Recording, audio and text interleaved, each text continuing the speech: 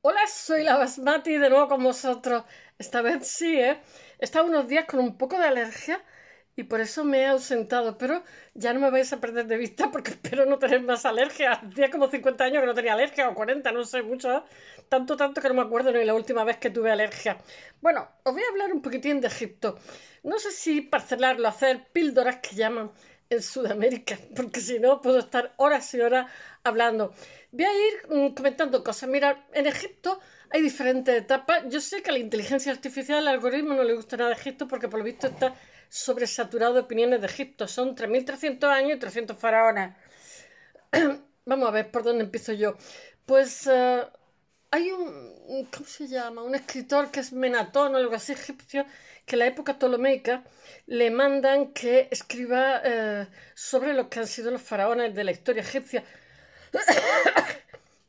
Hay diferentes referencias. De hecho, en, la tabla de Bidos uh, también hay uno de los faraones que hace una lista de lo que han sido los faraones y los que no les gusta los quita. Es casi más interesante ver los que no aparecen que los que aparecen.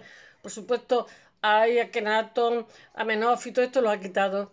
Entonces, como esta, o sea, era como los herejes, cuando es una tontería, porque en Egipto eh, se van a suceder, hay como unas 100 deidades, ¿no? Pero eh, Egipto es eh, el delta y el valle, o sea, el bajo y el alto Egipto, ¿no? Y entonces, pues lo mismo que se ha hecho en política, no es tan diferente la política que se, que se hace allí, que se hizo allí, como la que se ha hecho posteriormente, como por ejemplo la Roma oriental cuando decide unificar el cristianismo, ¿no? Para cohesionar ese imperio. Bueno, pues los egipcios también tenían como 100 dioses y entonces los eh, mm, faraones, que no se llamaban faraones en la época protohistórica porque eso lo llaman realmente los judíos en la Biblia. Y entonces lo que deciden es pues uh, decidirse por un dios como por ejemplo eh, en el Imperio Antiguo, K, Entonces todos son obeliscos, todos son mm, pirámides que están honrando a, a K, que es el dios Sol, ¿no? Y sin embargo nos encontramos con, después hay un imperio medio, después viene un imperio nuevo, nos encontramos otra época donde, digamos, se glorifica a Amón. Pero lo que siempre ha habido una grandísima lucha entre el poder político y el poder religioso, porque de alguna forma mutuamente se retroalimentan, ¿no? El poder religioso legitima barbaridades y el poder político permite que el poder religioso sobreviva. ¿no? Pero resulta que los sacerdotes llegaban a un momento que se hacían tan tan poderosos que los mismos que eran más poderosos que los propios faraones. Entonces muchas veces los cambios que vemos eh, de, de, de, digamos, de protagonista, de deidad, y de también, pues, yo qué sé, pues de capital, ¿no? Porque en un momento dado la capital está en Memphis, en otra época está en Tebas, en otra época está en la época de Almarna, de, la revolución almarniense, pues está allí en, en Almarna, como se llame, quiero decir que realmente estos son eh, giros que dando, da el poder para intentar restarle eh, poder a lo que son los, eh, el poder religioso, los sacerdotes.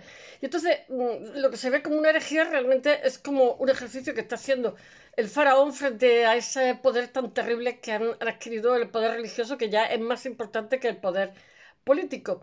Y bueno, y diciendo estas palabras, voy a ver si lo cuento. Hay, nueve subdivisiones que ya se hacen en época ptolomeica, se hizo también antes. Hay una primera época que es, eh, digamos, la, época... Lo voy a ver porque quiero deciros los años que dura cada una. No voy a decir fecha, voy a decir... Hay... Eh, Egipto dura aproximadamente 3.300 años. O sea, desde el cuarto milenio hasta el 30 años antes de Cristo que es conquistada en Roma. Está el periodo, tengo que leerlo, protodinástico, que es el 3300, que se ha dicho al inicial. Ellos dicen que son los dioses al principio. Después es más antiguo Sumer, ¿eh? pero le gana por poco también. Eh, después está el imperio, o sea, los tinitas, que realmente es del 300, tengo que leerlo del 300. Son mis gatos que están corriendo por las noches, son como Drácula, pasan el día durmiendo y por la noche hacen carrera. El periodo tinita que tiene 454 años. Después comienza el imperio antiguo, porque realmente hay tres imperios, el antiguo, el medio y el nuevo, pero entre medio hay muchísimas cosas. El imperio antiguo va a durar 505 años. Va del 2686 al 2181. No voy a decir la fecha porque si no es un rollo. Después, sí os voy a decir lo que dura cada uno. Aquí tengo mi perro también que quiere que lo saque. Aquí son todas reclamaciones a las 12 de la noche. el Imperio Antiguo, 505 años, después el primer periodo intermedio, que es cuando toman poder los, los gnomos, que son como las provincias que se había hecho, que había hecho un, ahora lo contaré, un faraón, que nombra un visir, y entonces nombra también un catastro, porque claro, todos los años se allí se crea la agrimensura en, Egipto. Todos los años se inunda. O tienes que saber lo que es tuyo, lo que es de lo otro, lo que es del Espíritu Santo, ¿no? Eh, se crea también pues una especie de, de, hacienda fisco para recabar impuestos. En fin, todo eso lo crea un faraón en el periodo antiguo y por supuesto es el periodo de la construcción de las pirámides de Keops, que y Miserino son las pirámides más famosas, más espectaculares. Pero lo que ocurre es que mm, este faraón que os he dicho que hace toda esa reforma administrativa, etcétera, y funcionarial, pues crea también 38 nomos, que son como las provincias, están los nomarcas que eh, son como los gobernadores de esas provincias, ¿no?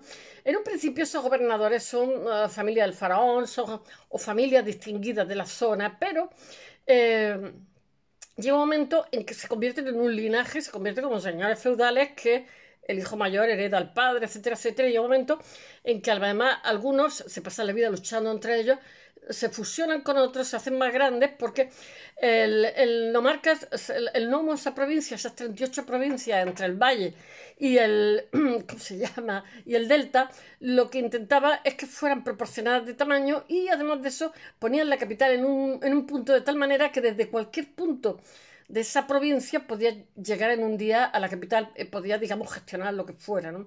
Y pero eso llegó un momento en que después del Imperio Antiguo, pues eh, se convierte como en señores feudales que son ya el, faraón ya no tiene ningún poder, son ellos los que mandan.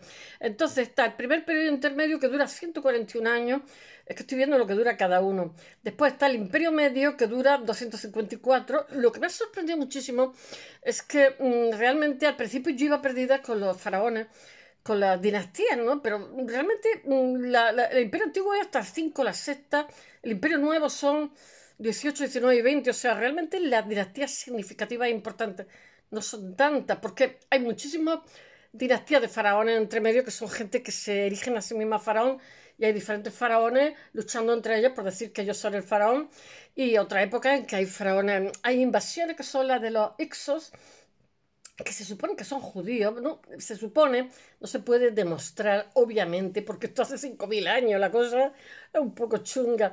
Entonces está, si no 5, 4 y pico, y entonces es difícil de demostrar. Estos sexos, pues se, se, corresponde con el éxodo, con la historia de José, etc.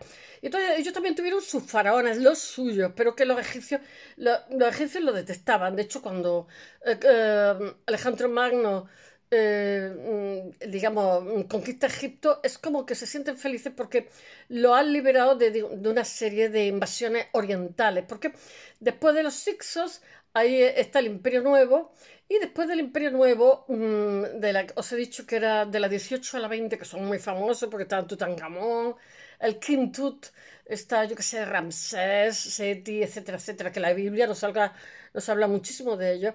Pues después de esta de esta subdivisión, que es lo que estaba yo diciendo así, pues vienen una serie de invasiones, eh, a Siria, Aqueménide, después los Ptolomeos, después Roma, en fin. Pero cuando llega Alejandro en el 330, me parece que lo conquista Egipto, eh, pues se sienten totalmente liberados porque han conseguido expulsar a los...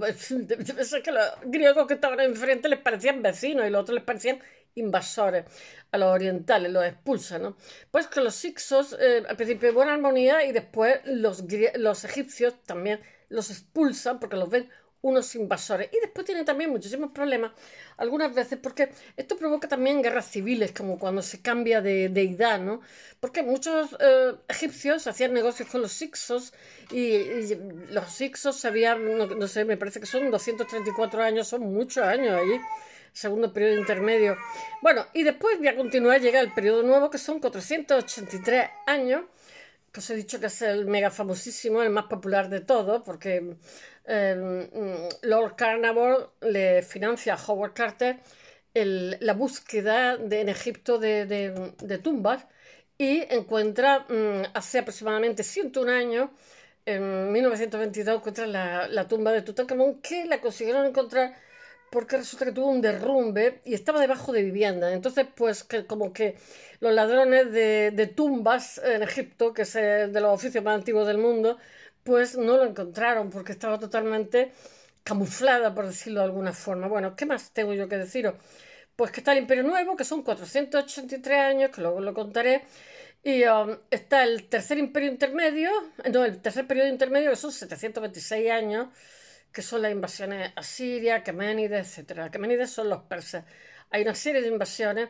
Eh, porque os voy a decir una cosa. Mira, Egipto estaba, la parte de arriba tenía a la izquierda el Sáhara, los libios. Eh, tenía, estoy hablando del imperio antiguo, ¿no? Eh, arriba mm, también, eso a la izquierda, en el oeste. Al este, al norte, del oeste tenían los um, cananeos de Canaán. Después tenían al sur, tenían los nubios.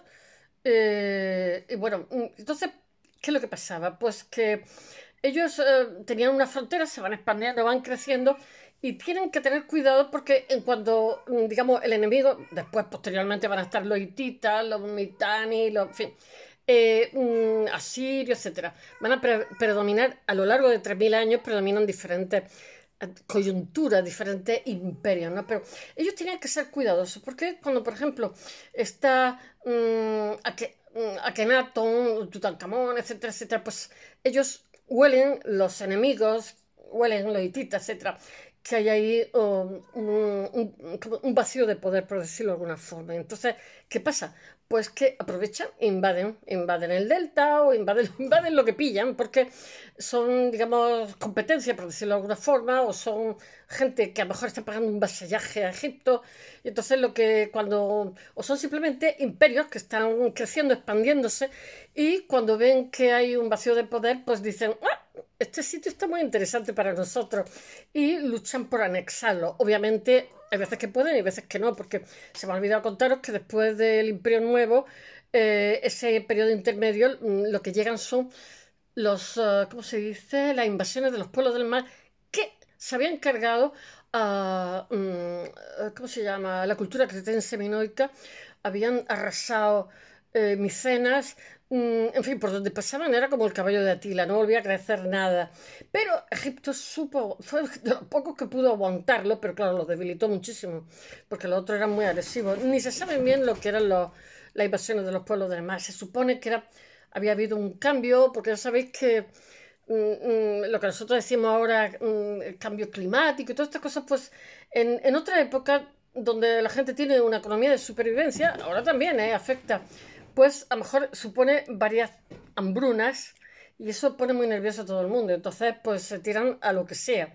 Entonces fueron los, pueblos del primero los pueblos del mar, después los asirios y después los aqueménidas. Y por último llegó Alejandro y entonces los egipcios lo coronaron mm, eh, faraón porque lo vieron como un liberador. Pero claro, Alejandro murió jovencísimo, con treinta y pocos años, y entonces lo que hizo mm, fue quedarse, se repartieron entre los generales, entre los colaboradores de Alejandro, se, se repartieron las diferentes tierras, que eran muchas, ¿no? Y Ptolomeo, pues le tocó esta tierra y descendiente de Ptolomeo, pues estaba Cleopatra, etcétera, etcétera, hasta, que, hasta el año 30, donde Marco Antonio y Cleopatra se suicidan. Pues eso dicen, por lo menos, con la picadura de una cobra. Eh, no sabemos si es verdad o no, es una leyenda, pero el hecho real es que Cleopatra había tenido un hijo con César, Cesarión, y después tuvo dos hijos con Marco Antonio. Y, bueno, en fin, eso es otra historia. A os cuento un poquito del Imperio Antiguo, un poquito. O sea, cuando llega media hora paro y después otro día os cuento otra píldora. Bueno, en este tema lo que pasa es que os voy a contar hoy que es el Imperio Antiguo que va de 2686 a 2181, tengo que de vez en cuando mirar la chuleta, que en este tema se ve el nacimiento del Egipto faraónico. Os voy a hablar también de Zoser. Y de Zoser muchas veces se escribe con Z y otras veces lo veo representado gráficamente con Dioser, de J. Oser. Entonces, no sé, porque cada maestrillo tiene su librillo. Aquí cada uno que habla de Egipto, digamos, pone eh, la carne en el asador en un punto o en otro. Yo espero hacerlo bien. Bueno, os voy a hablar también de la tercera eh, dinastía y de las grandes pirámides de Giza famosas de Keops, Kefren y Miquelino. Y ah, bueno, el Egipto faraónico, como os he dicho, abarca 3.330 años y, um, y se extiende desde, la cuarta, desde el cuarto milenio hasta el año 30 antes de nuestra era, de nuestra era cristiana. La cultura egipcia tiene peculiaridades mm, artísticas la forma de enterrar a sus muertos, tiene peculiaridades la manera de escribir, eh, yo que sé, tiene peculiaridades artísticas. Es que estoy cerca de los libros. Estas cositas me están pasando últimamente más de la cuenta. Creo que voy a deshacerme de libros. Voy a los bancos, los dejo y entonces pues la gente me están ganas de hacerle fotos. Bueno, Herodoto de Licarnaso escribe sobre en el siglo V antes de Cristo es, es, un enamorado totalmente de Egipto y dice que Egipto es un don del Nilo. El Nilo tiene unas peculiaridades que son únicas que explican por qué la, mm, la excepcionalidad de esa cultura, porque se da allí. Es, realmente lo que pasa es que el Nilo lo que hace es que cohesiona, digamos, todo ese, ese trayecto. Os voy a decir una cosa, el Nilo, mmm, hay una trayectoria, es el río, el segundo río más largo del mundo. El primero es el Amazonas, of course, pero el Nilo tiene, digamos, desde su nacimiento hasta la desembocadura del Mediterráneo en Alejandría, fundada por Alejandro, tiene 6.000 kilómetros. El Nilo nace en la zona Eritrea-Etiopía, por el Tanganica, y entonces arrastra por la zona alta de Etiopía, arrastra toda una, eh, digamos, eh, tiene una, como una tierra sucia, es fruto de los monzones de esa, de esa zona. Entonces, eh, arrastra, están los dos ramales que he dicho, el, Nilo rojo, oye, el Nilo rojo, el Nilo blanco y el Nilo azul, y digamos, todas estas lluvias torrenciales hacen que el Nilo, sus crecidas sean en verano. Ellos tenían el nilómetro y entonces a partir del nilómetro podían decir, podían prever cómo iban a ser las cosechas. Bueno, es... Uh, ¿Qué puedo deciros del Nilo? Mirad mi gafa, está para el plan Renove. Bueno, que es el segundo el río más largo del mundo, ta, ta, ta. Nace en el sudeste de África y eh, tiene 6.000 kilómetros. Lo que pasa es que el Nilo, el Nilo, digamos, del Egipto que conocemos, que Egipto se fue expandiendo por la la primera catarata era Swan, y después se fue expandiendo por las cataratas, ¿no? El Nilo que conocemos tiene aproximadamente mil kilómetros, entonces ellos no necesitaban carreteras porque hay una corriente, digamos, de desembocar el Nilo hacia, hacia el mar. Y cuando querían ir, digamos, contracorriente, lo que hacían es que mm, o bien ponían la vela o bien tenían animales en la orilla que tiraban del barco. Ellos eran, lo, a pesar de no tener madera, porque ellos importaban los cedros del Líbano, eh, son unos maravillosos eh, carpinteros. Ellos montaban y desmontaban los barcos porque después hubo muchos, mm, ¿cómo se dice?, faraones que potenciaron el comercio en el Mar Rojo. Bueno, sigamos. El Nilo lo conocemos tiene aproximadamente mil kilómetros hasta desembocar en el de las tierras altas, que es eh, la zona de la Nubia, las tierras bajas, que son la, el delta.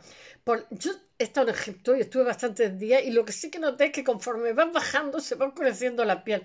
Pero a mí me gustó más la gente que estaba por la orilla. Eh, yo qué sé, los niños que jugaban con pelotas de estas con plástico que les mete mucho papel. No sé, gente, no sé, me gustó más que la capital, el Cairo, me pareció uh, inquietante. Bueno, que espero que no me oiga ningún egipcio, pero me gustaban más los pueblos. Bueno, pasa por las tierras altas de Etiopía que están sometidas a, los monzones que os he dicho que se dan en esta zona por el Índico, por lo que la lluvia, a comienzo de la primavera hay unas lluvias torrenciales que hacen, posibilitan que el verano sean las crecidas.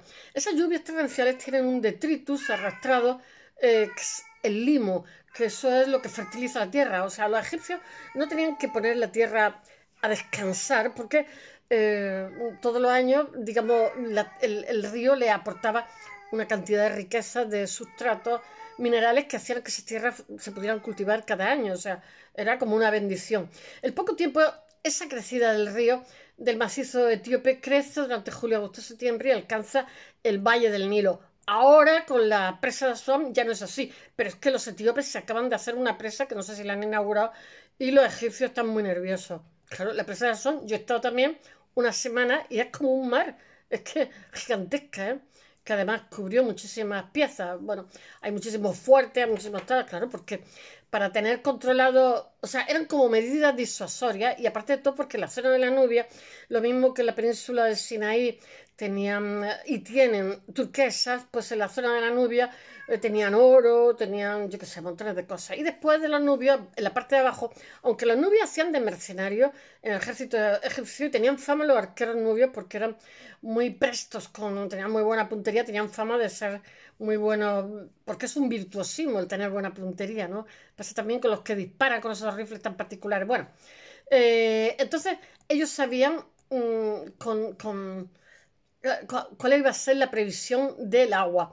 Bueno, el Nilo cuando se inunda se cubre de barro y esta agua arrastran las lluvias torrenciales que proporcionan agua y un barro de limo que fertiliza las cosechas, con lo cual no tienen que, como el fenómeno se repite cada año, pues eh, porque recibe tierra nueva, en vez de descansar las tierras, como os he dicho antes, pueden tener una producción continuada. La crecida no es destructiva, las inundaciones se producen en la misma fecha siempre, con lo que se puede predecir de alguna forma en los milómetros cuándo va a tener lugar. Y empiezan a contar con medidores que se llaman nilómetros, como os he dicho, que están ubicados en el curso alto del río, que cuando comienza a crecer mm, les muestra los egipcios cuál va a ser el alcance de la inundación, de la extensión máxima. Y con el paso del tiempo los egipcios vuelven a aventurar en función del caudal, pueden saber cuál va a ser la cosecha, porque ellos pueden adelantarse a lo que va a ser, con lo cual plantan más o plantan menos. Fijaros que adelantados para la época. Y no tenían satélite. Bueno, estoy yo haciendo chistes malos. Los egipcios pueden prever cómo va a ser la cosecha en función de la crecida y desbordamiento inicial. Antes de sembrar ya saben cuándo van a cosechar y saben al año siguiente cómo va a ser la crecida la temporada. Yo eso sí que no entiendo. Que, que supieran ese año cómo iba a ser la crecida, sí, pero que supieran el año siguiente cómo va a ser, pues no sé. Esta cualidad, uy, ya me están mandando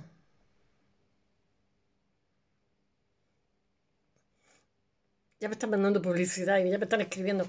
Estas cualidades le otorgan a los egipcios ventajas sobre el resto de civilizaciones. Claro, estaba, le pasaba como a Sumer, estaba muchísimos años luz, porque estamos hablando, eh, o sea, Egipto se ha iniciado en el periodo calcolítico y estamos hablando de la edad de cobre, que realmente cuando llega el primer milenio pasa a ser edad de hierro pero ya, digamos, hay otras coyunturas alrededor y Egipto deja de ser tan importante. Bueno, el Nilo no solamente proporciona agua corriente todo el año, el Nilo es que se me, se me los pelos, me los corto con la tijera del pescado y se me meten los pelos en los ojos.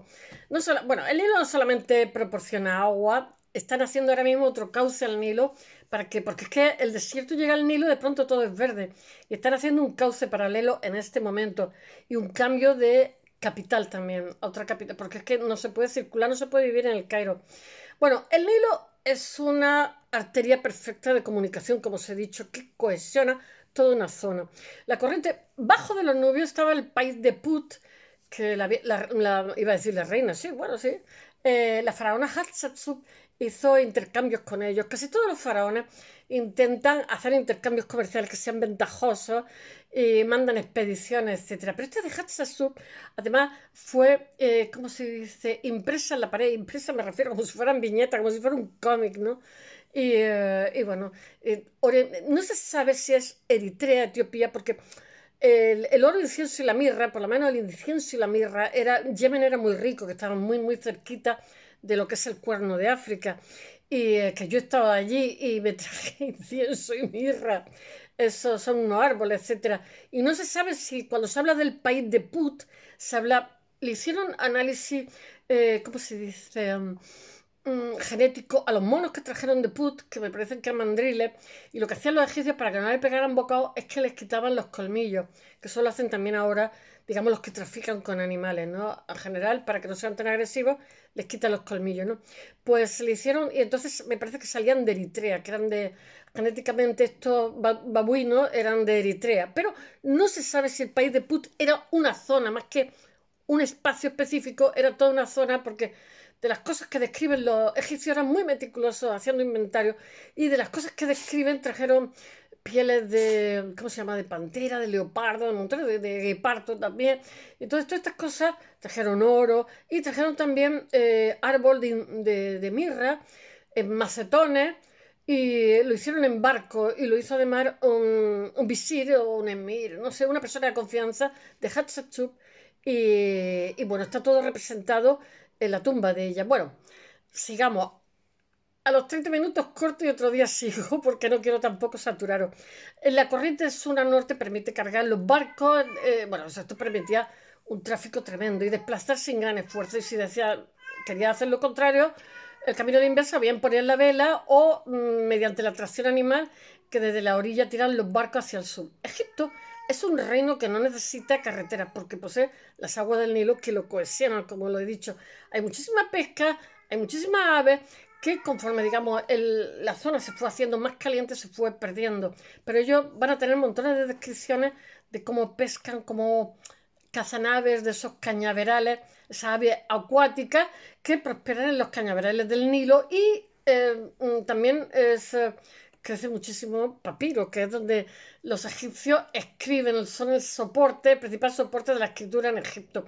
Pues ya sabéis que ellos tienen la, mm, los jeroglíficos, pero después tienen una escritura que es demótica, que es como para ir más por casa, y ahí es donde, digamos, los funcionarios escribían, etcétera que es como más em, abstracta. Con todas esas ventajas no es de extrañar que esta civilización del Nilo genere una cultura superior al del resto. Este es mi perro. Y es un reino brillantísimo desde el cuarto milenio antes de Cristo hasta el siglo I antes de nuestra era. El nacimiento de Egipto faraónico, los inicios de Egipto son de época calcolítica, como os he comentado, de finales del Neolítico y finales del cuarto milenio antes de Cristo. Claro, y um, termina en el 30 con el suicidio de Marco Antonio Cleopatra y hay una primera etapa del periodo protodinástico que es uh, en el 3300, después está el Tinita, que os he dicho, del 3150 al 2000, no sé qué, tengo que leer los 686, pero no me sé todas las fechas, y después está el Imperio Antiguo, que es del 2686 a 2181. Y bueno, comienza con la época protodinástica, que es bastante larga, del 3300 y el Egipto está empezando a construirse y termina con el Imperio Antiguo, que dura 500 años en el tercer milenio. Las cronologías realmente pues son aproximadas, ¿qué queréis que os diga? Y mucha información que tenemos también es aproximada. Se supone a partir de... Es como si tienes una frase que tiene el sujeto y el complemento y te falta el verbo. Bueno, pues vale, nos aproximamos. Las cronologías, afortunadamente, como los adelantos tomográficos, etcétera, etcétera, van a más genéticos, han ido a más, pues cada vez vamos sabiendo más, incluso los vestigios que se tenían con anterioridad. Las cronologías son todas aproximadas del Imperio Antiguo y Medio. Paralela a esta organización, a, este orden cronológico, los egipcios también confeccionaban su propia historia. Después de ser conquistado Egipto por los Ptolomeos, como os he dicho, hay un sacerdote egipcio que se llama Manetón, a los cuales los griegos le encargan que por favor, digamos, haga un, currículum de lo que ha sido, currículum, no como se llama, una historia de lo que ha sido todos los faraones en Egipto y lo hace. Entonces él pone 31, los divide en 31 dinastías.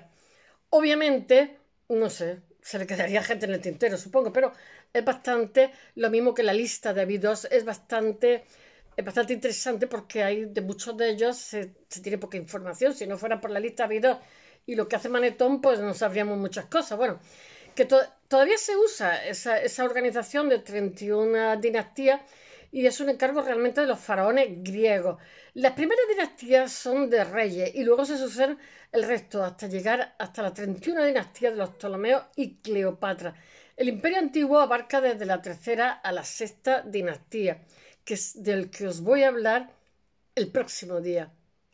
Bueno, espero que os haya gustado y hasta mañana. Bye.